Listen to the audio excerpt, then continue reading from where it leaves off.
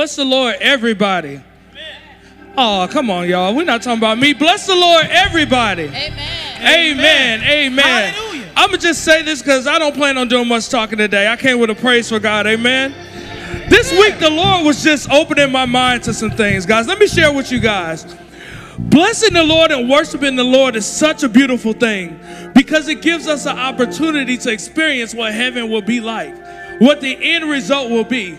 Worshiping God is an act of faith. Amen. You know, this week, I was kind of talking with God in my mind about some stuff, you know, some stuff that He has called me to do, some stuff that, you know, I want to see Him do in other people's, you know, lives and different things of that sort. And a lot, of God had to show me that a lot of times we're not able to worship and praise God or able to have faith in what He's going to do because we're busy looking at ourselves. We see our inadequacies. We see the things about us that don't match up. We see our lack of resources. We see all these things, and it makes it hard for us to worship God. It makes it hard for us to praise God. And He reminded me of this. Just like with Abraham, every promise that He's made to us is based on His own character. Y'all, y'all, y'all miss that. Y'all miss that. See, when he told Abraham, I'm going to make you the father of nations, he said, I'm going to do this. I'm going to do that. And so I just want to encourage someone this week that everything that God's promised to you, he swore it upon his own name. Not your abilities, not your resources. As a matter of fact, the messed up parts of you, he factored those in as well. And he's still going to get the glory out of your life. Amen. So let's just praise God. Let's just give him a praise for what he's already going to do and just based on who he is. Amen. You guys sing with us. First song we're going to sing is Chasing After You. Let's go, guys. Feel free to stand to your feet, wave your hand, worship the Lord, run across whatever you need to do so that God can understand that you're chasing after Him and that you want His presence in your life. Amen.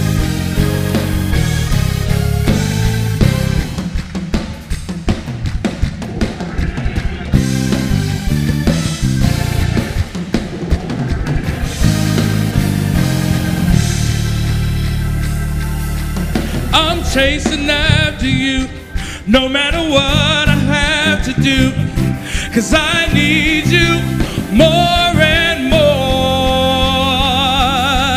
I'm chasing after you, no matter what I have to do. Cause I need you more and more. I'm chasing, I'm chasing after you. no matter what. No matter what I have to do. Cause I more Who's chasing that again? I'm chasing that again. No matter what I have to do Cause I need you and more.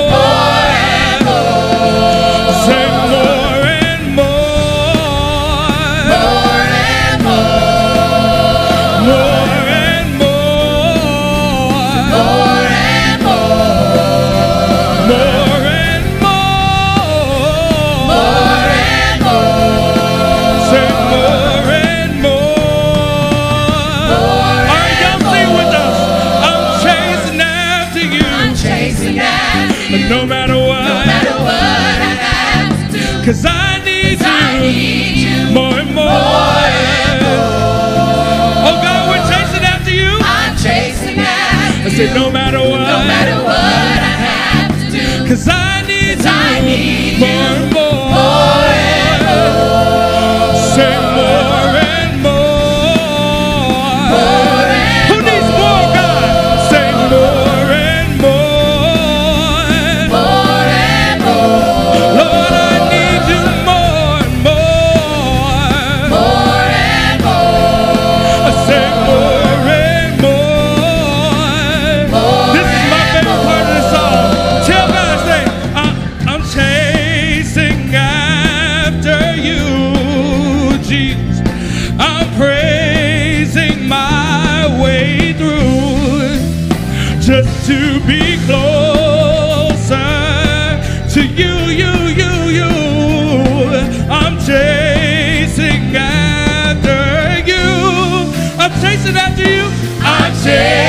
chasing after you. I'm praising my way through. You gotta praise your way through my way something through. just to be close Just to to be closer to you. I'm chasing after you. I'm chasing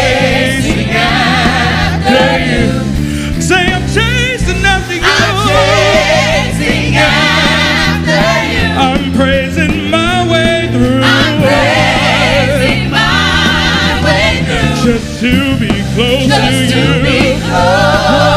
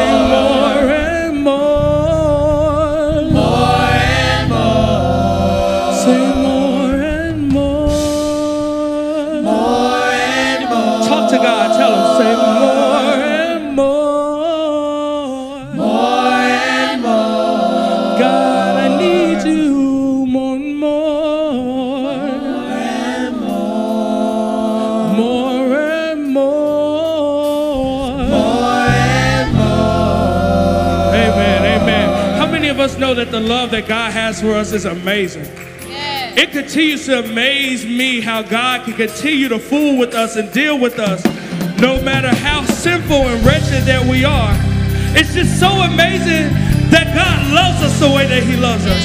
And sometimes that amazingness of that love just overwhelms my soul. So let's tell God how amazing we think it is that He fools around with us. It says, It's so amazing. It's so amazing. Lord, your love for me. Your love for me. And it's so amazing. It's so amazing. your sacrifice Your sacrifice for me. and for every blessing For every blessing given to me. given to me. And for every valley. For every valley you use. you used to stray. Deserve your your tender mercy. If not for God's grace, if not for your grace, where would I be? That's simple enough to catch on with, right? Sing along with us this morning. Oh Lord, it's so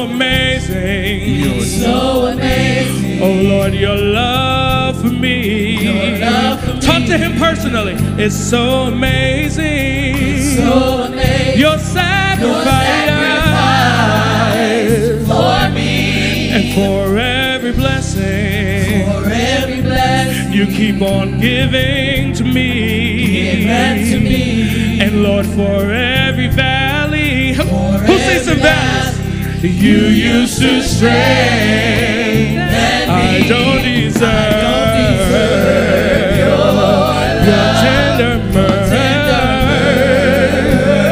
If not for your grace, where would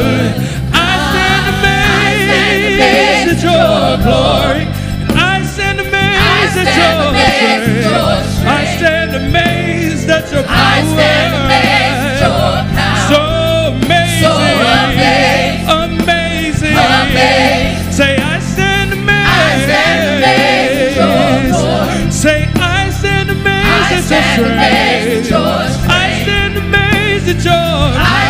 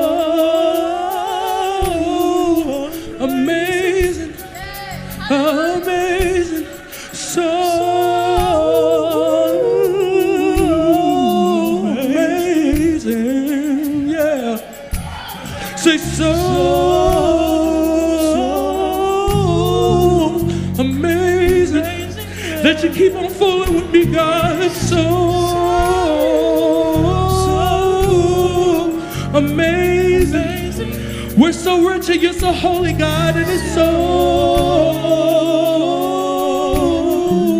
amazing. You bled and you died, and it's so amazing. Sing it with us. Say so, so amazing. When was the last time you thought about how amazing it is? Say so.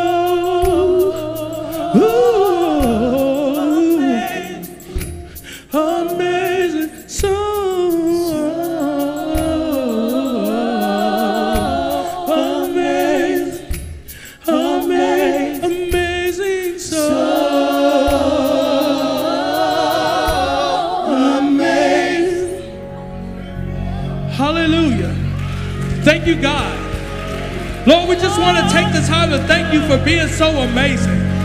God, we just want to take the time to thank you for dwelling with us, your people, oh God. Lord, we admit that everything's not together the way that we think it should be together, oh God. But Lord, we know that because you're amazing, God, because your love for us is amazing, God, because your spirit dwelling in us is amazing, God, because your presence amongst us is amazing, God. We just want to say thank you, God. We want to bless your name today, oh God. Lord, we want to worship you today, oh God. Lord, not because everything's lining up, Lord, but because you would make the crooked places straight. Lord, you would make the hilly places flat, God. And we just want to thank you for being so amazing. Hallelujah. Hallelujah. The love of God reached out and grabbed me this week, guys. It reached out and grabbed me this week. Let it grab you today. The Lord's been chasing after us. He's been pursuing us. He's been wooing us. He's been trying to draw us unto himself. There's so much going on right now in the world. So much that can cause fear, it can cause panic, it can cause doubt. But the fact that we belong to God. Do you understand what that means? The fact that we belong to God. What Pastor Jackson was just telling us, we belong to God. And we're in his hands. Praise God. I've been captured by a love I can't explain. And now you have me, and I'm forever changed. Lord, I've abandoned everything I've ever known. Lord, I surrender. My life is not my own. I belong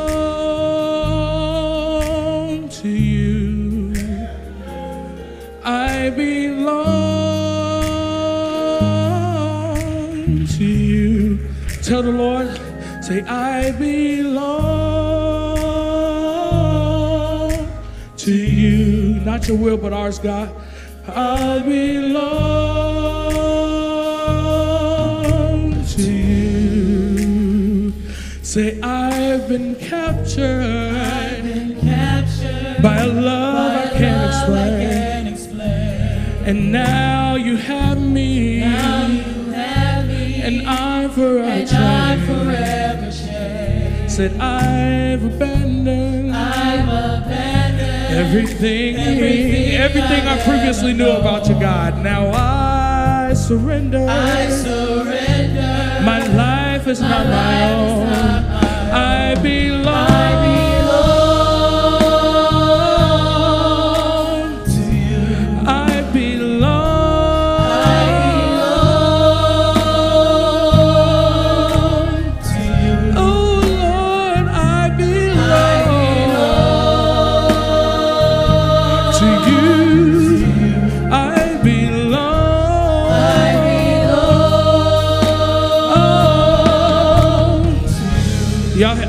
sing with us. Say, I've been captured. I've been captured. We can't explain this love.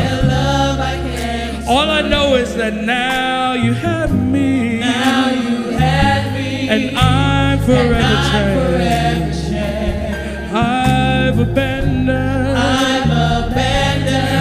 Everything. Now I surrender. My life is not my own.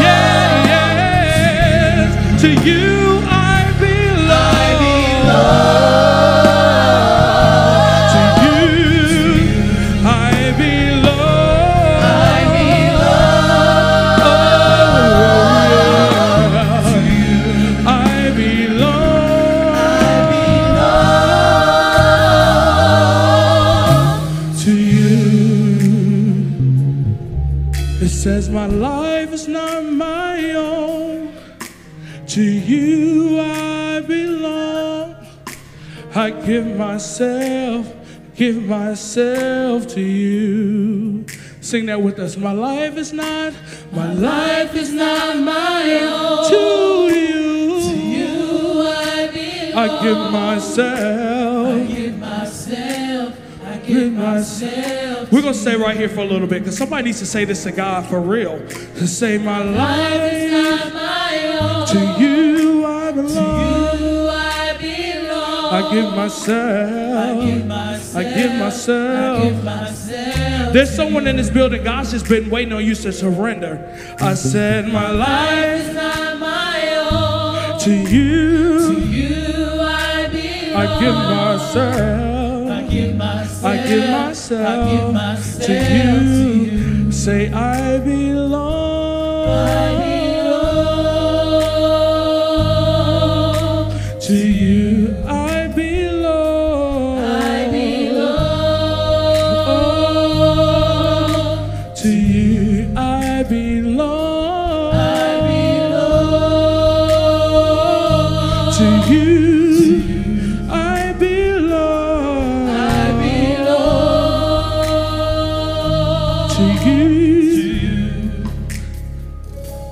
One more time, say, My life is not my own, God. To you I belong. I'm gonna give myself, I'll give myself to you. Who, who's the, the prayer of their heart today? Said, My life is not my own. To you I belong. I give myself, I give myself to you. Say, My life is not my own. Life is not my To own. you I belong. You I belong. Say, I give myself. Give myself. I give myself, I give it all. Say my life is not my own. Life is not my To own. you I belong. You I I give myself, Give oh, I give myself, myself. give myself to you. One last time, my life is not my Life is own. not my To own. you I belong. You I belong. I give myself. Give myself. I give myself, self to you.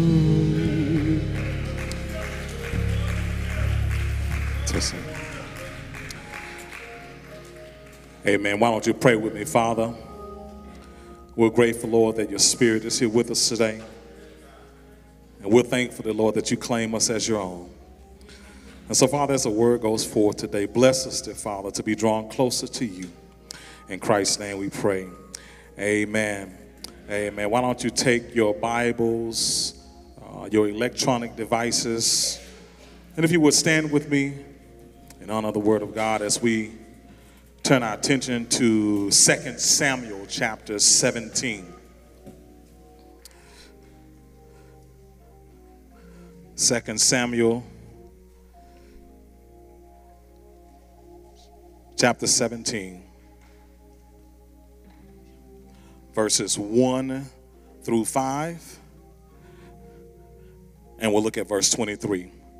2 Samuel chapter 17, verses 1 through 5, and then we'll look at verse 23. When you have it, say amen.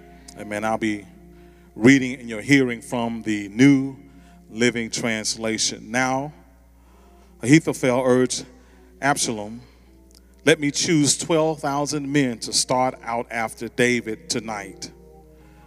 I will catch up with him while he is weary and discouraged. He and his troops will panic and everyone will run away. Then I will kill only the king. And I will bring all the people back to you as a bride returns to her husband. After all, it is only one man's life that you seek. Then you will be at peace with all the people. This plan seemed good to Absalom and to all the elders of Israel. But then Absalom said, Bring in Hushai the Archite. Let's see what he thinks about this. And then as you skip down to verse 23, the Bible says, When Ahithophel realized that his advice had not been followed, he saddled his donkey, went to his hometown, set his affairs in order, and hanged himself. He died there and was buried in the family tomb. You may be seated in the presence of the Lord. The word of God says, grass withereth and the flower fades, but the word of our Lord stands forever. We've seen a lot happen over these last few weeks. Uh, the tragic, I'll just call it like it is, murders.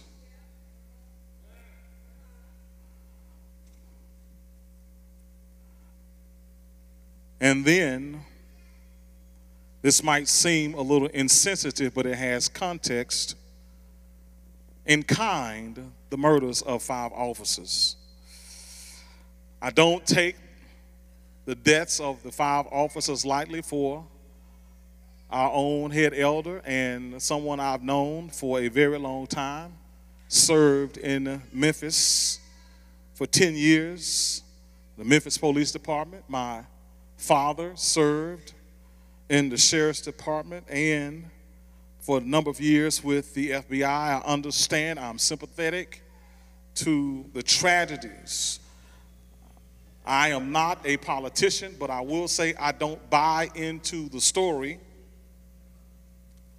of what happened or who killed the officers. I think that is a little suspect, but I'm not here to talk about that. But I would like to point out this the officer's deaths were tragic. No wife, no mother, no child should have to see their loved ones taken in the way in which it happened. Reminds me of a couple of things. That reminds me of the terrible times that we live in. Uh, we do know that certainly Jesus is soon to come. But it reminds me of something that this country does not want to deal with, and that is the issue of race and racial bias. And my thinking is if we, if the country does not do something about the injustices that happen, particularly to people of color, I am afraid that what happened to the officers is just the beginning. But what I'm here to tell you today is that oftentimes in the church, we like to take revenge out on one another.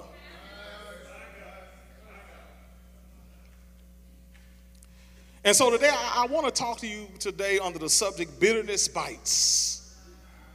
Bitterness bites. One day, two monks were walking through the countryside.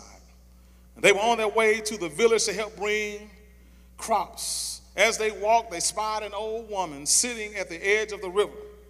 And she was upset because there was no one there to take her across the bridge, and she could not get across on her own. The first monk kindly offered and said to the lady, We will carry you across the river if you like.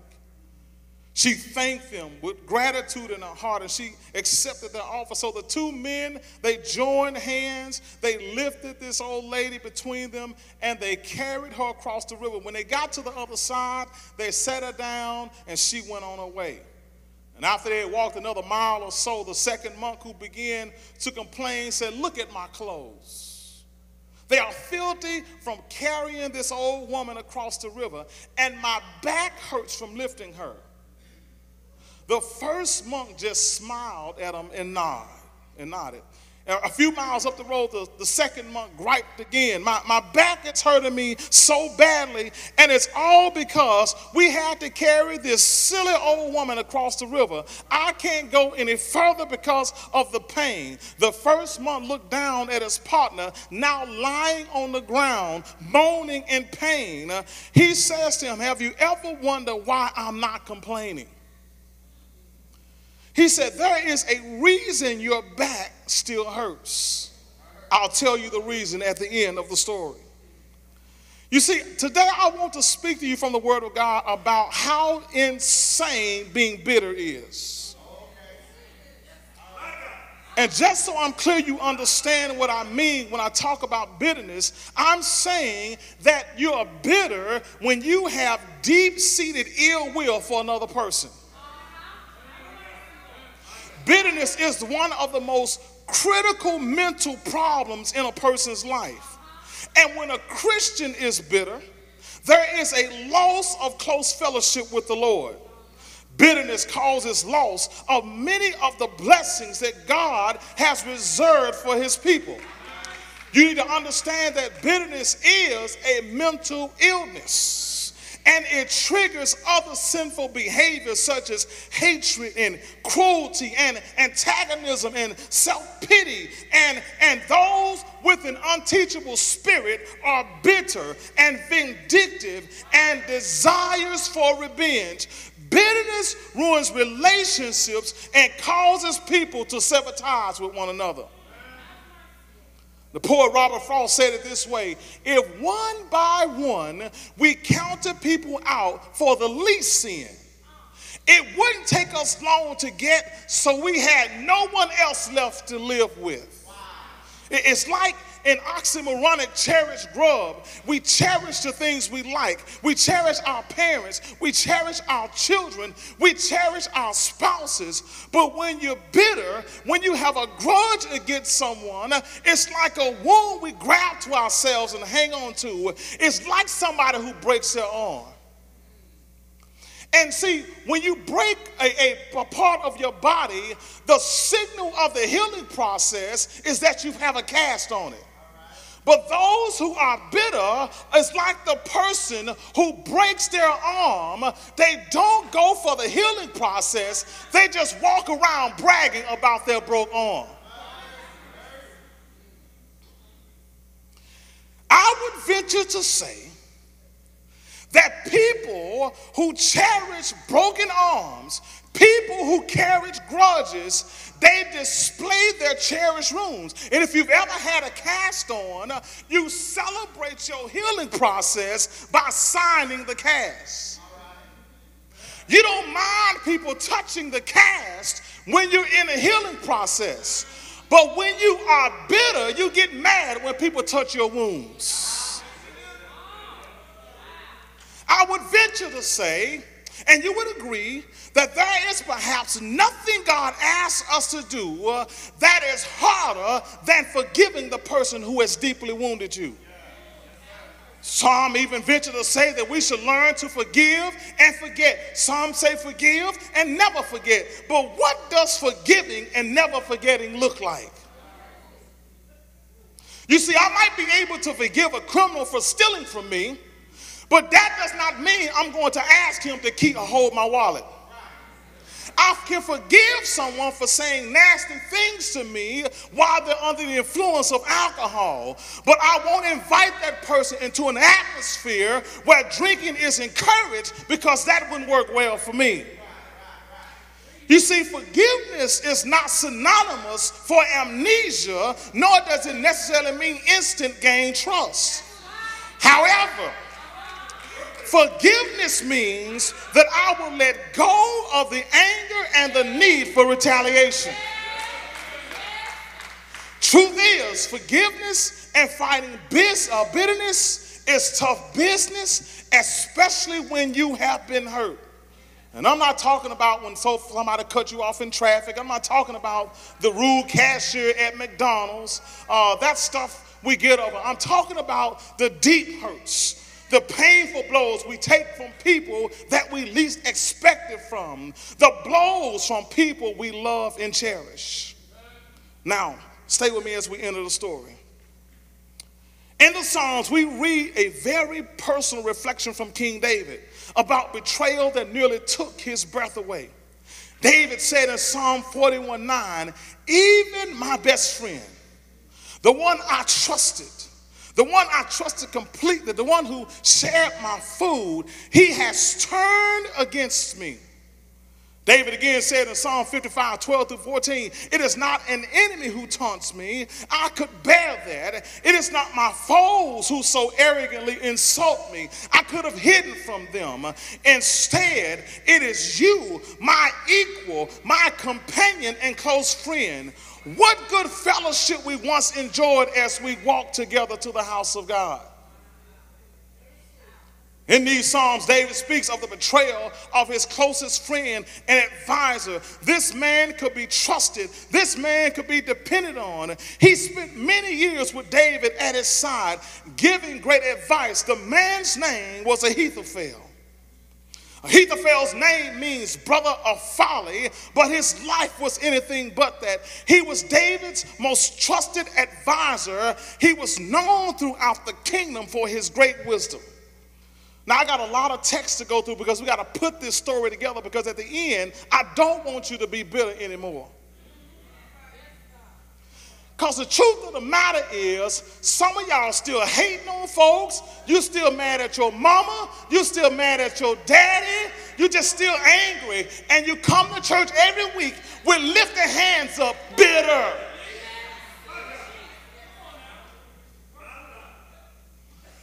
Trying to pray. See, the, the object of praising God is to help you release that bitter. But some of us like to pretend like we in favor of God, but you won't even call your brother.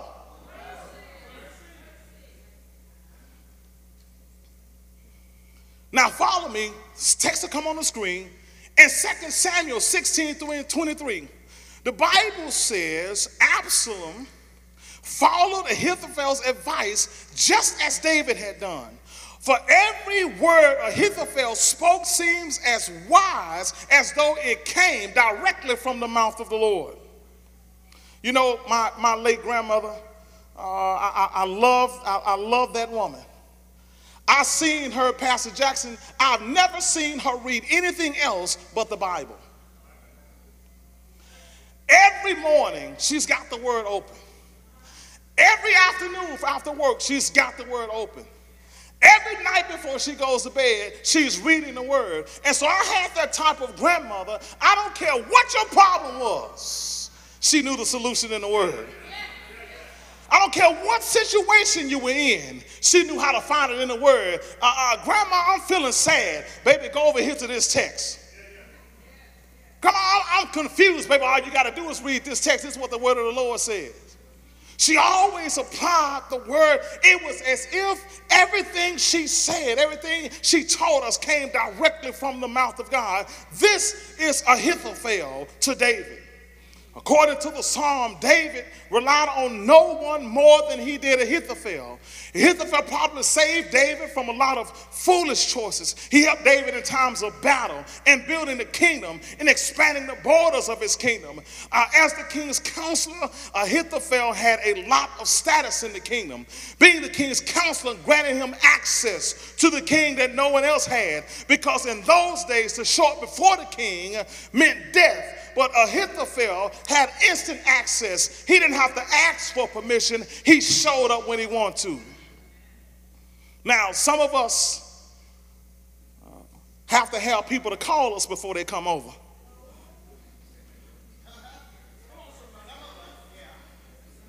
Some of us got so much going on that if somebody show up at your house uninvited, they just might not get in. Anybody, anybody care to admit that they got a call before they come?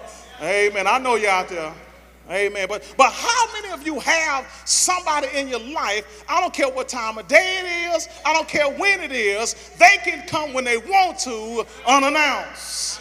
Yeah, that, that was a Ahithophel. He could he could come unannounced. But watch this now. Someone once said that it's better to make enemies than friends because having friends brings more trouble than having enemies. and so, watch this. These were really tough days for David. And what made it tough was that it wasn't just anybody trying to kill him for the throne, it was his own son, Absalom. And much of this was because of David's sin with Bathsheba that, uh, that tore his family apart. And when you look at 2 Samuel chapter 15, verses 1 through 6, the Bible says this After this, Absalom bought a chariot and horses, and he hired 50 bodyguards to run ahead of him. He got up early every morning and went out to the city gate. When people brought a case to the king for judgment, Absalom would, be, uh, would ask, Where in Israel uh, are where they from? And they would tell him their tribe. Then Absalom would say, You've got a really strong case here. It's too bad the king king doesn't have anyone here to hear it. I wish I were the judge. Then everyone could bring their case uh, to me for judgment. And then he says, and I would give them justice. When the people tried to bow before him, uh, he wouldn't let them. Instead, he took them by the hand and he kissed them. Here he is, warning them, winning their confidence, uh, being a, a politician, if you will. And so, after about four years of campaigning, David's own son Absalom, while kissing up to the people, undermined his father by showing himself to everyone. Then in 2 Samuel 15, verse 7, Absalom said that he was going back to Hebron to fulfill a vow he made to the Lord. He took that 20 mile journey uh, from Hebron to Jerusalem, uh, and when he arrived, he sent secret messages to the tribes of Israel saying, As soon as you hear the sound of the trumpets, then say, Absalom is king of Hebron. You see, Absalom went down to Hebron not to fulfill a vow to the Lord, but he went down to plan an overthrow of his own father. Now David's servants, they warned him what was happening, and here's what they told him in 2 Samuel 15, verses 13 and 14. The Bible says a messenger soon arrived in Jerusalem to tell David, all Israel has joined Absalom in a conspiracy against you. Then we must flee at once, David said, or it will be too late. Hurry if we get out of the city before Absalom arrives, before or both we and the city of Jerusalem will be spared from disaster. And if you continue to read, you'll see that David fled. And in verse 30, we see that David went up to the Mount of Olives to weep. David loved the city of Jerusalem, uh, but knew that the city would be hurt in battle. People ask, well, why did David flee? Why didn't he stay and fight? I suggest that one of the reasons why David leaves because he knows that this battle against is against his own son, uh, and it's a result of his sin in not confronting Amnon, his son, who back in 2 Samuel 13 uh, raped David's daughter Tamar. David was passive in disciplining his children. He did nothing about his daughter's rape, and this angered him. Might I stop here and say, you need to discipline your children? Now, don't get upset with Pastor Lee after I get to know you. As a matter of fact, no, I don't even get to know your children. If they're doing wrong, I'm calling it out. Don't mind me. I'm going to love them. I'm actually going to spoil them. Uh, but if I see them doing wrong, I'm going to call them out. And I give you permission to do the same with mine. We've got to discipline our children. But the second reason I believe David didn't stay and fight is because David loved Absalom more than he loved anyone else. He wanted to spare his own son's life. And so uh, David's own son uh, was betraying him. But watch this now, things now get worse. So far, Absalom has lined up uh, on, uh, on, the side of his army, and he's gotten all his mighty men together. Uh, their hearts will turn. Absalom needs an advisor to help him make decisions. And so in 2 Samuel 15, verse 12, the Bible says, while Absalom was offering sacrifices, he sent for Ahithophel, one of his father's counselors who lived in Gilo. Soon many others joined Absalom, and the spirit conspiracy gained momentum. And so Absalom, this rebellious son, he was far from stupid. He wanted a strong kingdom, and so he sent for the wisest man in Israel to be at his side. Now, Ahithophel was David's advisor. He spent years helping David make the kingdom great. David trusted no one more than Ahithophel to help him run the kingdom. So why was Ahithophel in Gilo with Absalom? Why was he not with David the king? When you read uh, 2 Samuel chapter 15, verse 31, uh, uh, the Bible says when someone told David, that his advisor Ahithophel was now backing Absalom, David prayed, Oh Lord, let Ahithophel give Absalom foolish advice. David recognized how serious this is. He knows that his son Absalom wanted him dead, and now Absalom, uh, who wants his father dead, now has the wisest man at that time at his side.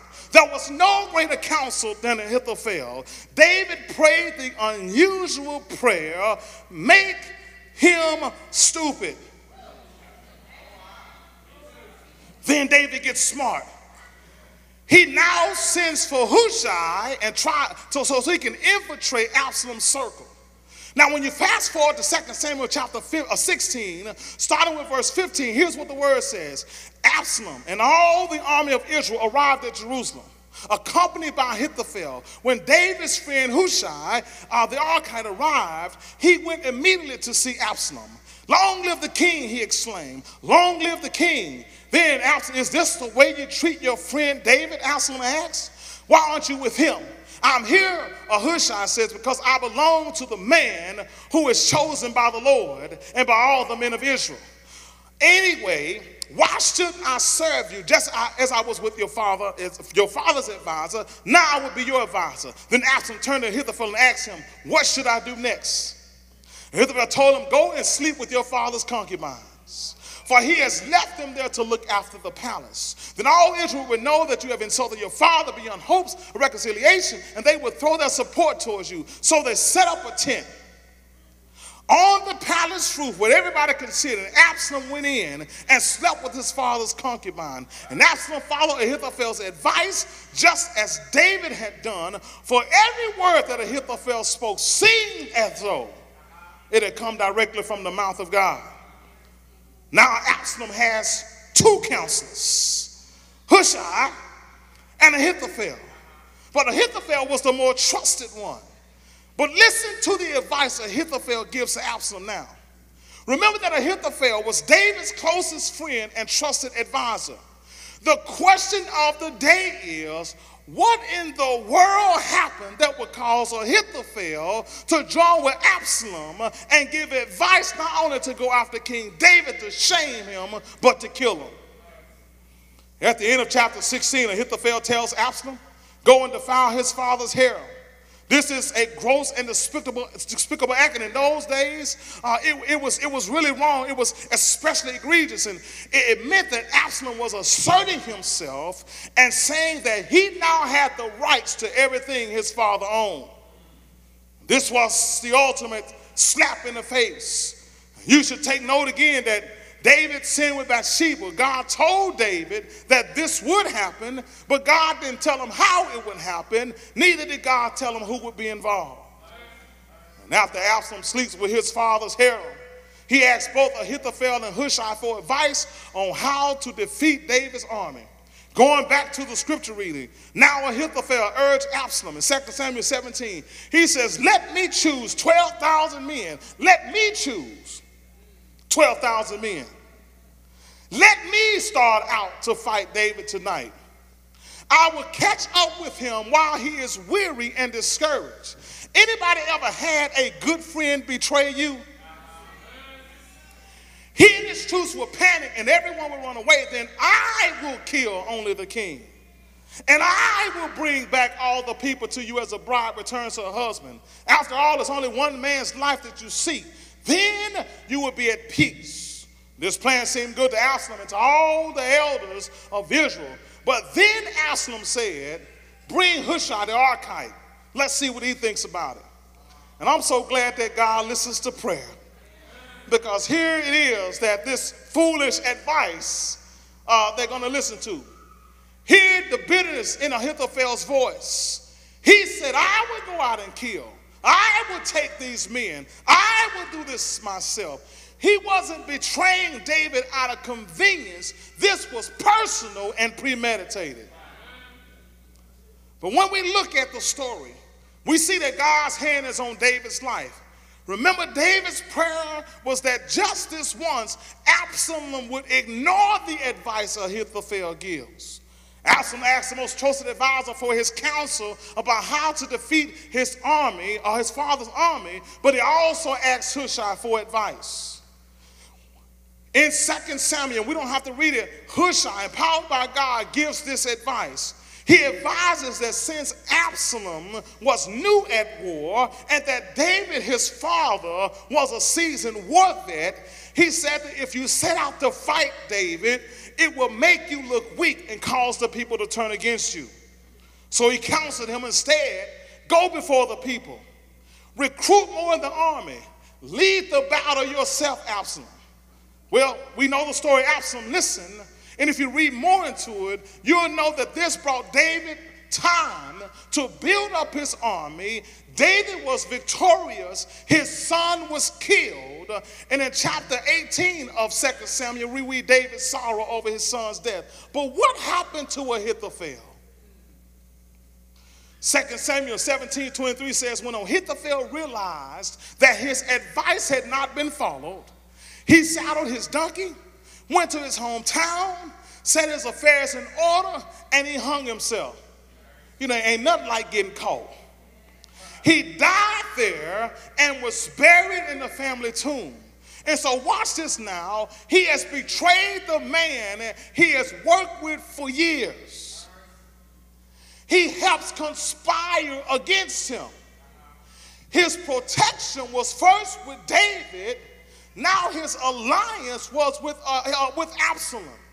But now that Absalom is dead, David now knows that his advisor sided with his son. And so Ahithophel says, I'm not facing the king, I'll just hang myself. But what happened that made Ahithophel so bitter that he would betray his close friend and the king? 2 Samuel chapter 23. Watch this. I want you to pay attention to this list of David's mighty men. 2 Samuel 23, verse 34, should be on the screen. It says, Eliphalet, son of Ahasbai, from Maacah. Eliphalet, son of Ahasbai, from Maacah. Then it says, Eliam, son of Ahithophel from Gilo. Now I want you to pay attention to the fact that this says Eliam was the son of Ahithophel. Now keep this in mind as we go to 2 Samuel chapter 11. Watch this. He sent someone, 2 Samuel 11, he sent someone to find out who she was, talking about Bathsheba, and he was told she is Bathsheba, the daughter of Eliam, the wife of Uriah the Hittite. Now, let me put this all together for you. Bathsheba was Eliam's daughter. Eliam's father is Ahithophel, David's advisor. So this makes Bathsheba Ahithophel's granddaughter. Ahithophel served faithfully alongside David supporting him, loving him. Uh, Ahithophel's own son uh, had fought faithfully alongside David as one of his mighty men. That's why when David asked who Bathsheba was, the servant really said, Don't you know whose daughter this is? Ahithophel, he is his closest friend and advisor. He helped David expand his kingdom. He was a military genius. And this is how you repay me? Imagine the hurt that Ahithophel feels. You did what to my granddaughter? You ruined her marriage. You killed my son in law. And to add insult to injury, because of David's sin with Bathsheba, Ahithophel's grandson dies. Then Solomon is born, and every time Ahithophel looks at Solomon, he's reminded of what David did to him. This is why he said, I'll, I'll get him back. This is why Ahithophel was not in Jerusalem. He went back home and spent years in bitterness, plotting his revenge. Then, when Absalom summoned him, he said, I'm going to take advantage of this plan. He seized this opportunity. He told Absalom, No, you don't have to kill him. I'll take care of the rascal myself. You see, when God talks about forgiveness, He is addressing issues like this real hurts. He's addressing that, that deep seated anger that you have for those that hurt you. But what did this bitterness do? It did not hurt David, it hurt Absalom. It hurt Absalom. You know, someone once said that harboring bitterness is like drinking poison but expecting somebody else to die.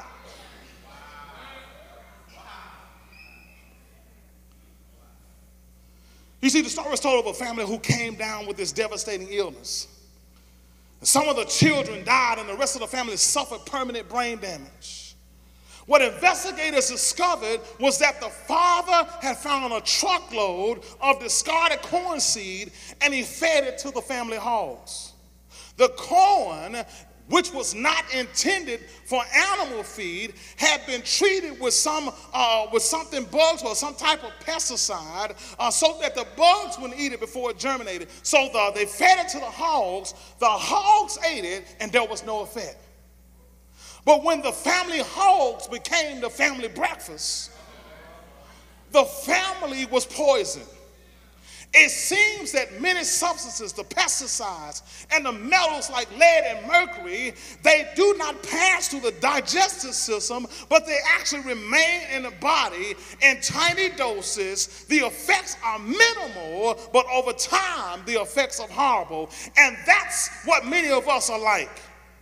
Every day we ingest minute amount of conflict and disrespect. No big deal. We, we just blow it off. Uh, but instead, what happens is that bitterness, it's cancer, it's like a cancer. Uh, it gets buried in our liver and in our lives. And then 20 years later, we're sitting in a board meeting and can't wonder why we don't have control over our emotions. You see, Remember the story we began with the story of the two monks who, who carried the woman across the bridge. Uh, the, the second monk who kept complaining about his back because he was mad that he had to carry the woman. The first monk said, Let me tell you why your back is hurting. He said, Your back is hurting because while you put her down, you're still carrying her. Y'all will get that in a minute. That's what it's like when we deal with one another in our families. We're like that second monk who won't let go of the pain, who won't get, or let go of the past, and we remind people every once in a while because we want to get the upper hand over them. We still carry burdens that we should let go of.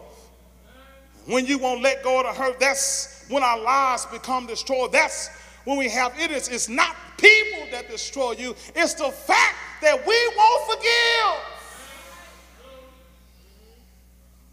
Jesus, in his teachings on how to pray, said to his disciples, When you pray, say, Forgive us our debts as we forgive our debtors.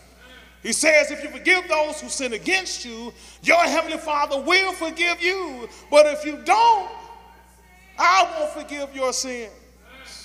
So, the question I have for you today are you still bitter? Are you still angry over something somebody did to you? Remember what happened to Absalom. Remember what happened to Ahithophel. Their anger turned on them just because Ahithophel was mad at something David did that God forgave. And isn't it interesting that we ask God for forgiveness every single day? but we refuse to forgive one another. How long will we not forgive? But the question really is how do we forgive deep hurt? Hebrews chapter 12, verse 15 says, Look after each other so that none of you fails to receive the grace of God. Watch out that no poisonous root of bitterness grows up to trouble you, corrupting men. Meaning, how do we fail the grace of God by being bitter, by letting the hurt, uh, letting it hurt and, and poison and defile us? How do we forgive deep hurt? The Apostle Paul says, Get rid of all bitterness in Ephesians 4 rage, anger, harsh words, slander, as well as all types of evil behavior. Instead, be kind to one another, tenderhearted, forgiving one another. And here's the solution just as God through Christ has forgiven you. How do we forgive deep hurt? The Apostle Paul says in Romans 12 never pay back evil with more evil. Do things in such a way that everyone can see you are honorable. Do all that you can to live in peace with one another. Never take revenge. Leave that to me, God says. I will take revenge. I will pay back. That's what the Lord says. Then he says, if your enemy is hungry, feed him. If they are thirsty, give him something to drink. In doing this, he says, you will be burning coals of shame on their heads. He says, don't let evil conquer you, but conquer evil by doing good. How do I overcome deep hurt? The Bible says, then Peter came to him, Matthew 18, and said, Lord, how often should I forgive someone who sins against me? Seven times. No, not seven, but 70 times seven. And, and, and, and, and, let, me, let, me, let me back up in that chapter because we have a hard, can I be, we just have a hard time following the word of God. We we make the word of God seem like it's, it's deep. It ain't deep, it's, it's simple. Here's the simple somebody offends you, go to them.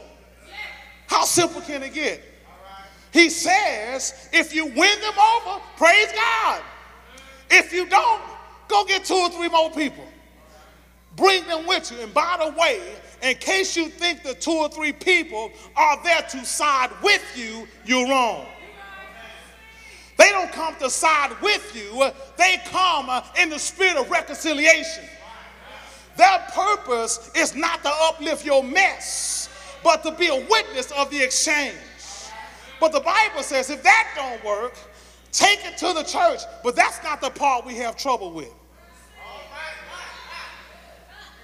Because we easy, we, we take stuff to the church.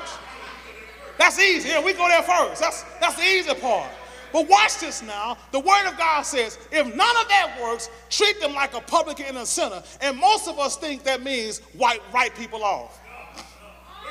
Yeah.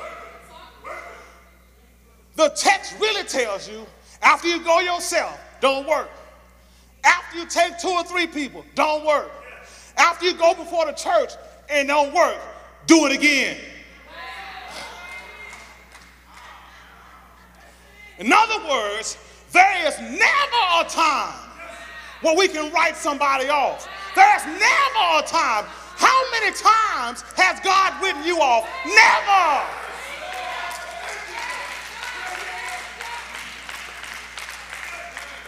You see nowhere in Scripture where he writes off neither publican nor sinner, but he's always in the process of reconciling. And so God says if step one does not work, step two does not work, step three does not work, do it again.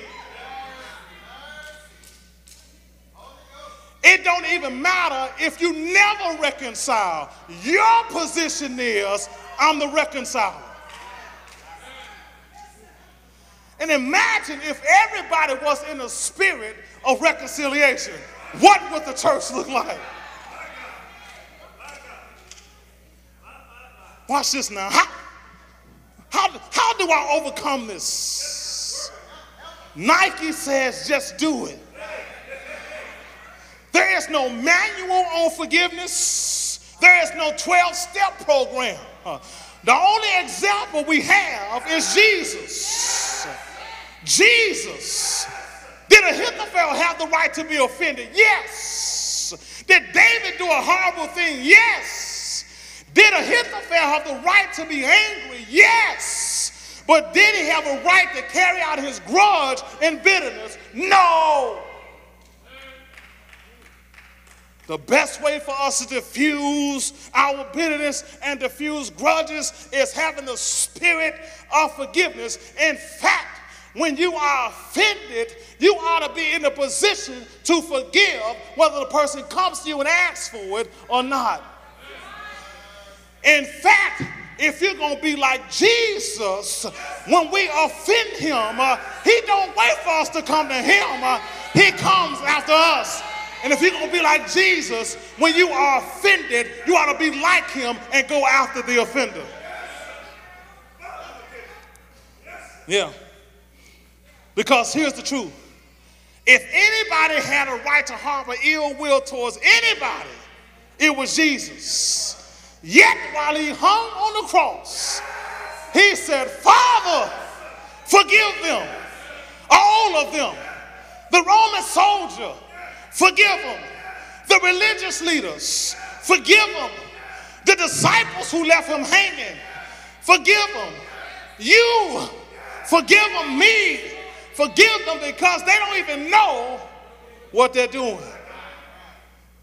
Because the Bible says he was wounded for our transgressions, bruised for our iniquities. The chastisement of our peace was upon him, yet with his stripes we are healed. And that's the thing that kept Jesus from being infected by those wounds was the fact that he loves us and that he cares for us. And the truth of the matter is, some of us need the presence of the Lord in our lives because the hurt is deep and God knows it. So here's what I'm calling as we close Some of y'all still angry. You still mad. You still hurting. Whoever done hurt you then went on with their life.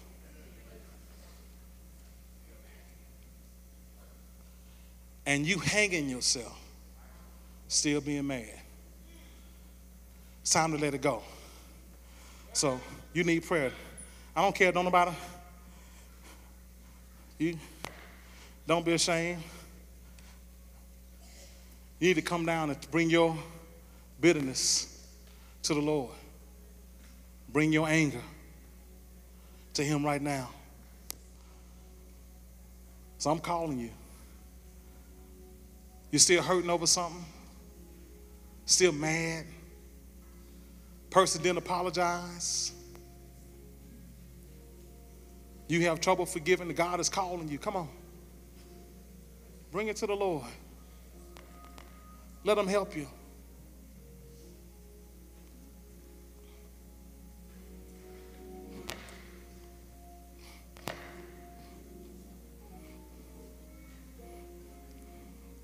I won't hold you long because I, but I realize that some people just they want to hang on to being angry just a little while longer because they feel like it's going to do them some good.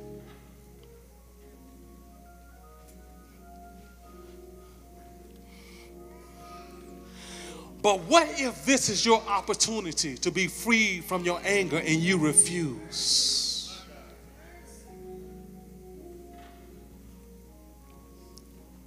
What if this was the last appeal to you to let it go?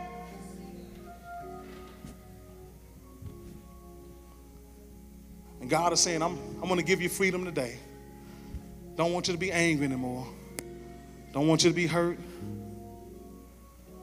You want to come and have somebody pray with you so the Lord can start that process of forgiveness. You've got to make the first step. Father, we thank you.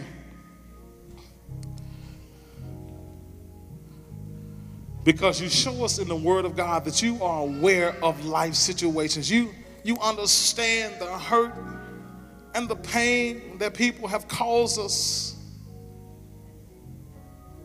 But Lord, you still say forgive. And so, Lord, as those who are here have come asking for prayers, they submit their wills to you, God. And Lord, believing that Father, you will help them to get over the hurt and the pain that they're still experiencing, God. We believe by faith, Lord, that you're going to give them victory, to God, over their bitterness, over their anger. But Lord, perhaps somebody is still sitting. They don't even realize their condition. I pray, God, that you have mercy, that you would, would, would woo them and bring them, Lord, to the point to where they're coming to you, God, asking you to forgive them for holding on to the bitterness and anger before it's too late. Because, Father, you said if, if we can't forgive the Father, you won't forgive. And Lord, part of our part of our entrance into the kingdom deals with the issue of being able to let go of those hurts. And so, Father, we pray each and every person on the sound of my voice, that Father, is able to reconcile, if possible, with their brother. But even if reconciliation is not possible to God, we pray that you would still give us the spirit of forgiveness.